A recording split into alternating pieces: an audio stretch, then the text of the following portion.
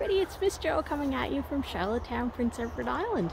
And today I'm going to talk to you a little bit about happiness.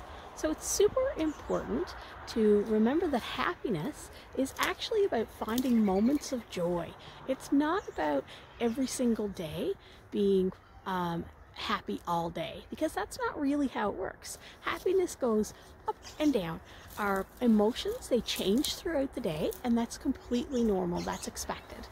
And while um, parts of your day you might not feel happy or you might have to do things that are boring or not what you would choose to do if you had the option um, that's okay. That is not meant to interfere with your happiness because life is not 100% about just doing the things we enjoy. There's things that are necessary that we have to do and when we have to do those, we can think about it as um, trying to prepare ourselves to be happy and um, remember that even if we're doing something that we don't necessarily love at that moment, that there will be moments of joy later or that we've had moments of joy earlier in the day. So that's super important to know.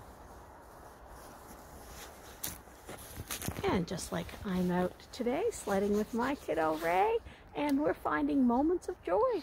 Look, look, look how beautiful it is. Look, it's really pretty. Yeah, we're appreciating I'm, the beauty and the nature and look, today. I found a hack. Look.